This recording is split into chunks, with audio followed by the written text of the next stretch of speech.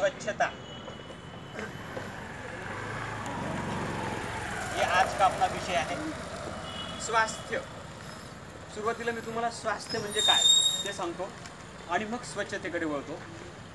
स्वास्थ्य ज्याला आपण आरोग्य असं म्हणतो. आरोग्य हे तीन प्रकारामध्ये मोडलं जातं. पहिलं सगळ्यांना माहिती असणारं सगळ्यांनी इकडे लक्ष द्यायचं मी मध्येच कोणाला एक प्रश्न विचारेल. आरोग्य हे तीन प्रकारामध्ये मोडलं जातं. पहिली गोष्ट शारीरिक आरोग्य ज्याला आपण फिजिकल हेल्थ असं म्हणतो. फिजिकल हेल्थ म्हणजे काय? आपण म्हणतो की माझं डोकं दुखलं माझ्या पायात गोळा आलाय मला ताप आलेला आहे. हे जे काही आपण आरोग्याच्या संदर्भामध्ये सांगतो याला आपण शारीरिक आरोग्य फिजिकल हेल्थ असं म्हणतो. दुसरा जो आरोग्याचा प्रकार आहे त्याला आपण मेंटल हेल्थ मानसिक आरोग्य. जिसे हम हिंदी में मानसिक स्वास्थ्य ऐसे कहते हैं. मानसिक आरोग्य म्हणजे नेमकं काय? याबद्दल बऱ्याचशा मुला मुलींना काही कन्सेप्ट क्लिअर नसतात. त्याच्यावर पण मी बोलणार आहे. मानसिक आरोग्य म्हणजे काय? मला टेन्शन आलं आहे मला ताण आलेला आहे मला स्ट्रेस आलेला आहे मला भीती वाटते मला खूप चिंता वाटते. असं आपण जे म्हणतो हे म्हणजे आपलं मानसिक आरोग्य. आणि तिसरा जो आरोग्याचा प्रकार आहे ज्याला आपण सामाजिक आरोग्य सोशल हेल्थ सामाजिक स्वास्थ्य ऐसे हम हिंदी में इसे कहते हैं. तर हे सामाजिक आरोग्य म्हणजे काय? आपले इतर व्यक्तींचे असणारे जे काही संबंध असतात रिलेशन ज्याला आपण म्हणतो हे रिलेशन बिघडलेले असणं ज्याला आपण सामाजिक स्वास्थ्य असं म्हणतो. फॉर एक्झाम्पल समाजामध्ये वाढणारी गुंडागर्दी असेल दादागिरी असेल हुंडाबळी असेल ज्याला सामाजिक दारिद्र्य पण आपण म्हणू शकतो. सामाजिक समस्या ज्या ज्या काही म्हणून आहेत त्या सगळ्या आपलं सामाजिक स्वास्थ्य म्हणून आहे तर आज आपला जो विषय आहे स्वास्थ्य आणि स्वच्छता और स्वच्छता. याच्यामध्ये सुरुवातीला हे ज्या तीन कन्सेप्ट मी तुम्हाला सांगितल्या पहिली कुठली? कुठलं स्वास्थ्य? शारीरिक स्वास्थ्य. म्हणायचं कुठलं स्वास्थ्य? शारीरिक स्वास्थ्य. दुसरं मानसिक स्वास्थ्य. आणि तिसरं सामाजिक स्वास्थ्य. शारीरिक स्वास्थ्य किंवा शारीरिक आरोग्य म्हणजे आपल्याला असणाऱ्या शारीरिक तक्रारी किंवा असणारे आजार. आता शारीरिक आजार कशामुळे निर्माण होतात?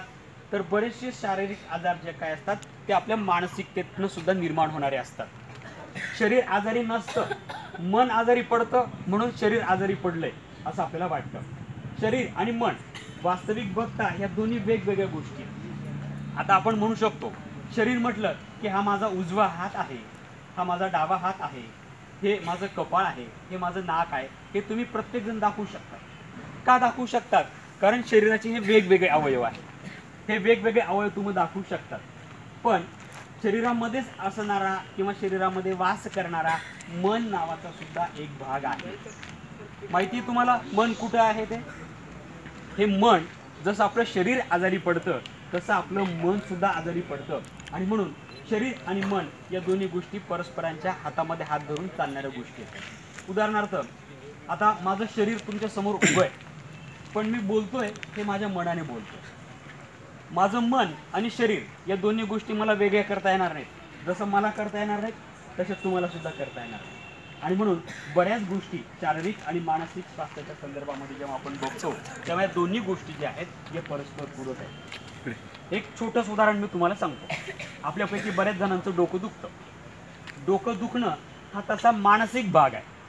शारीरिक आजार नाही म्हणता येणार. आहे एक सायकॅट्रिस्ट होता. या सायकॅट्रिस्टचं लग्न झालं. लग्न झाल्यानंतर त्याची मिसेस जी काही होती ती खेड्यातली दहावी बारावी शिकलेली मुलगी होती. तिला एक दिवशी वाटलं की आपण आपल्या नवऱ्याबरोबर पिक्चर बघायला जायला पाहिजे. सायकॅट्रिस्ट याला मराठीमध्ये मानसोपचार तज्ज्ञ असं म्हणतो जसं आपण मेंदू विकार तज्ज्ञ हृदय विकार तज्ज्ञ असं म्हणतो ना तसं मनाचे सुद्धा डॉक्टर असतात. आणि या डॉक्टरांना आपण मानसोपचार तज्ज्ञ असं म्हणतो. तर या सायकॅट्रिस्टची जी पत्नी होती ती पत्नी आणि सायकॅट्रिस्ट एक दिवशी छानपैकी पिक्चर बघायला जातात. सगळ्यांचं लक्ष आहे इकडे.